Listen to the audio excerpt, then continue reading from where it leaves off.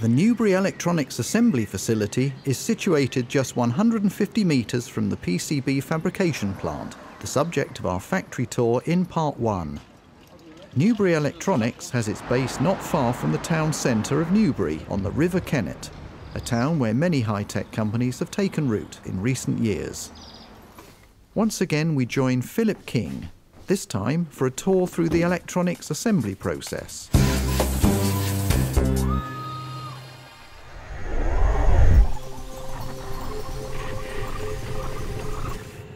Our quotation team estimates the cost of parts and assembly according to our client's requests for quote. Customers send us orders and we have to check those against our quotation to ensure that everything we've quoted for has been ordered and everything ordered has been quoted for. We aim to respond to clients' requests for a quote within 24 to 48 hours.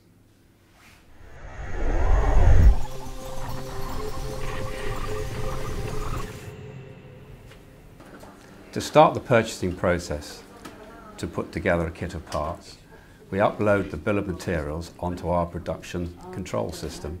If there are any queries, we get back to clients straight away. We will also check we have all the data required to make the product, and when we're happy with that, we'll acknowledge the order and we will prepare the documentation for production. Every step in the production process has to be planned with care to ensure we meet the specification of our client. Our buying team not only has to search for the best prices for the products uh, from our suppliers, but also to take into account extra quantities required for lead-ins or for spares to account for any scrap that might arise during the production process. We also have to consider the packaging of the components. Some parts may need to be on reels, some parts may need to be loose.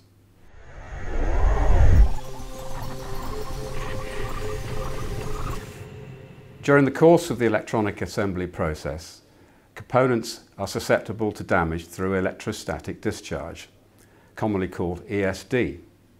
To avoid this risk, we take extensive precautions. The floor is conductive and earthed. All the staff are required to wear wrist straps and conductive footwear, and they will check that their ESD precautions are working satisfactorily on a test set.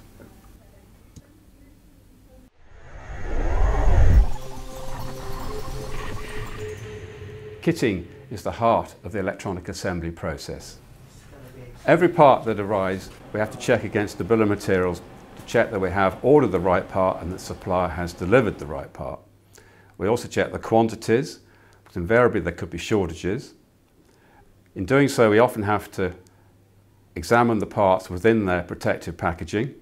That means opening the packaging, and if they are moisture sensitive parts, they'll also have to be resealed under vacuum to ensure that moisture doesn't find its way into the component.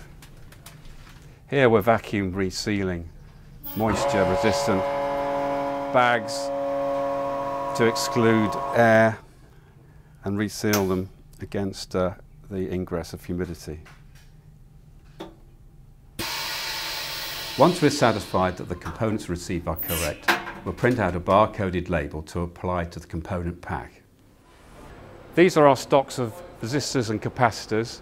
All these reels are used on the shop floor on the SMD placement machines and we supply them free of charge to clients.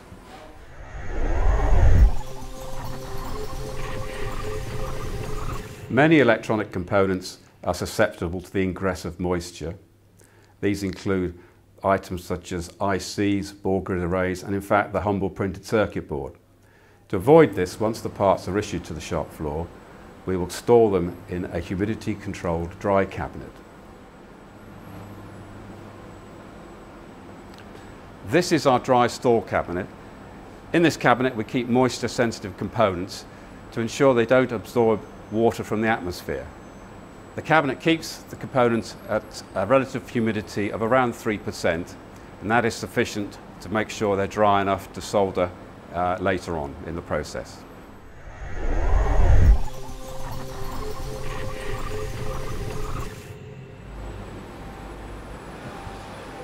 Nearly all component assemblies require us to prepare the SMD placement programs which will guide the operator to the correct position for all the feeders and for which components go on which feeder.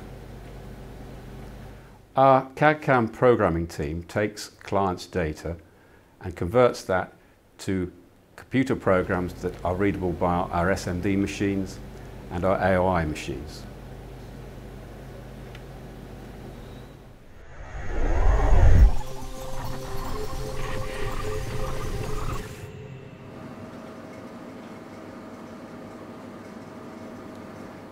We are fortunate enough to have our own machine to cut our own solder paste stencils.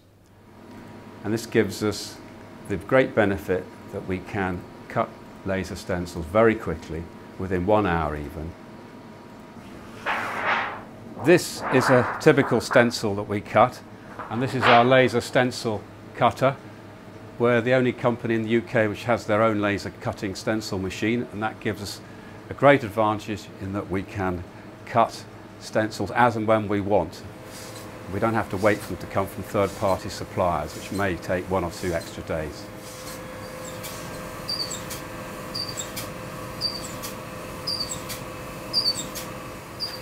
It cuts quite fast, but because there's so many holes on a typical stencil, it might take up to an hour for this machine to complete the process. Because we cut our own stencils, we do not have any additional charges for clients for these stencils.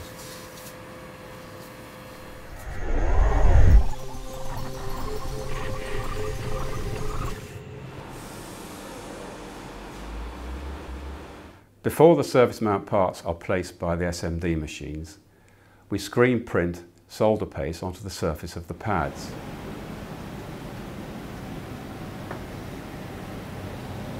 The solder paste has the consistency of butter and this is just thick enough so when the surface mount parts are placed on the surface of the pad they stay in position.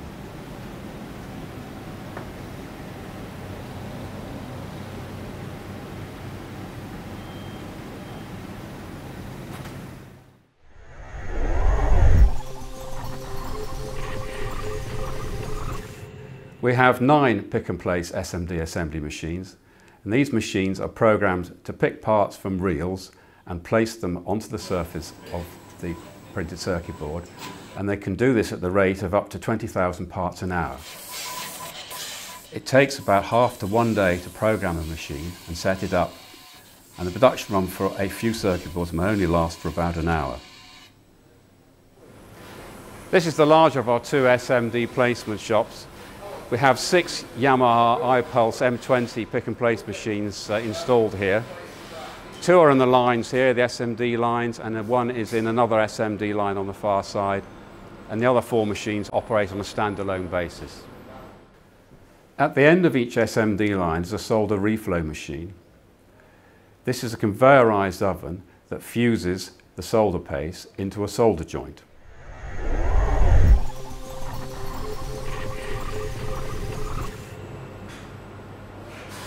The SMD machines are extremely productive and it's essential that we check the first offs are correct. To do this, we inspect them on a small AOI machine called a first article inspection machine, which checks that the correct part is placed with the right orientation at the right coordinate. Here we're programming the text on this particular part. We're drawing a box around it and the machine will inspect that box to make sure the text that it is recorded is seen on all subsequent parts. And if it doesn't see that text, it will treat it as a reject.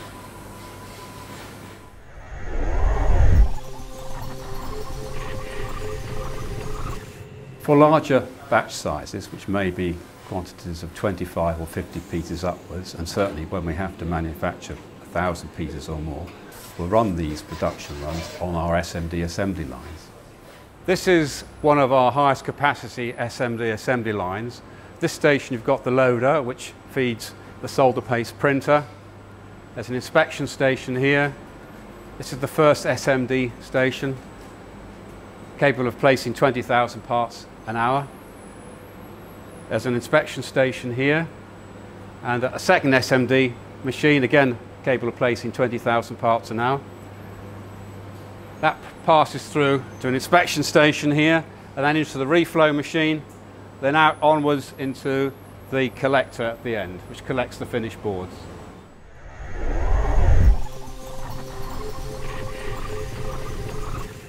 AOI, or Automatic Optical Inspection, is a machine which takes an optical image of the circuit board under examination.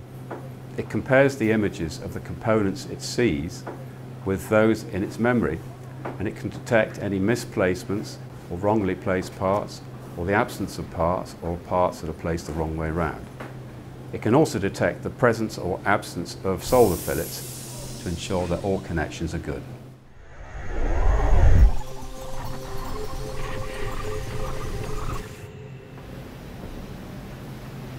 Most components these days are placed by surface mount assembly machines. Invariably there are always some hand placed components as well. These may be leaded parts where the parts have to be inserted down holes and the, the wires cropped off or there may be such parts as connectors. Usually they come in strips but these ones were loose in the bag so we had to place them by hand, we had no other choice.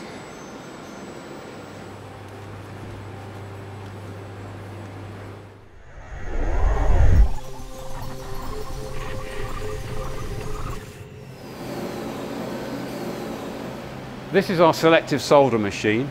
It's a robotic soldering machine which solders leaded joints automatically. You can see here the head here on the camera. It's operating now. The board's been fluxed and preheated and the head is passing around soldering joints individually one at a time. It may appear quite slow, but actually it will solder four times faster than a, a hand or a human can. And more to the point, it never gets tired and will carry on soldering all day long at the same speed.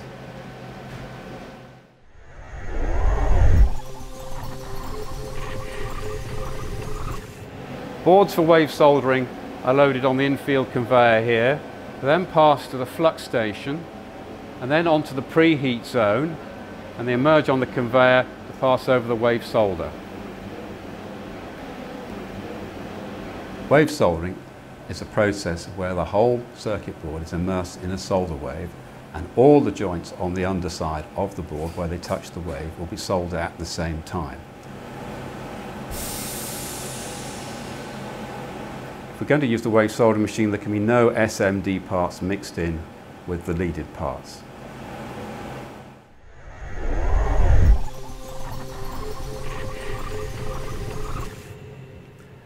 Many components have their solder joints under the body of the part. For instance, ball grid arrays or QFN devices. If that's the case, then AOI or visual inspection cannot check the quality of the joint. We have no other choice than to use an X-ray inspection machine to inspect the quality of these connections.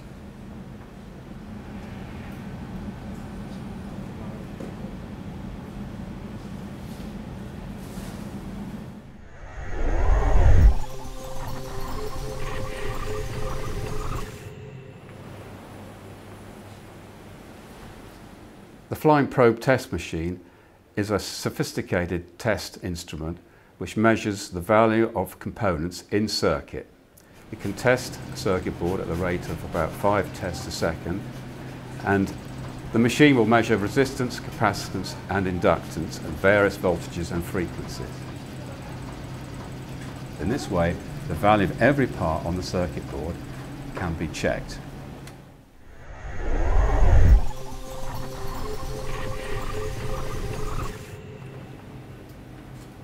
Once circuit boards are complete, they may be put through a functional test.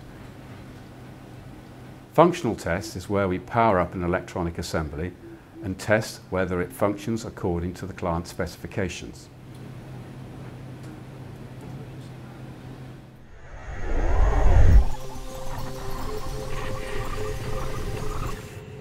At the end of the assembly process, we finally inspect the product by eye. Not every part on a circuit board can be inspected by AOI or by the X-ray machine. And these parts have to be looked at visually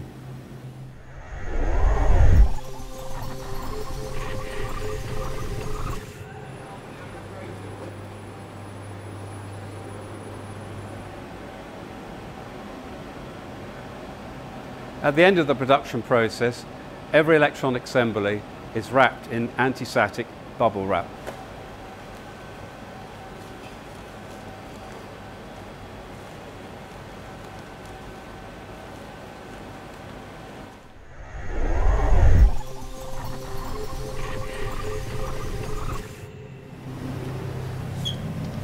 As a company, we have a policy of recycling where it's economical and uh, here, for example, we've got the solder dross from the wave solder machine, and that will be returned to the suppliers of the tin for refining and eventual return to us as virgin product. We recycle our cardboard, it all goes in this orange bin here. Got masses of cardboard and paper there. And also our electronic scrap goes in the blue container here. And uh, you've got scrap circuit boards and components, wires and uh, sundry items there.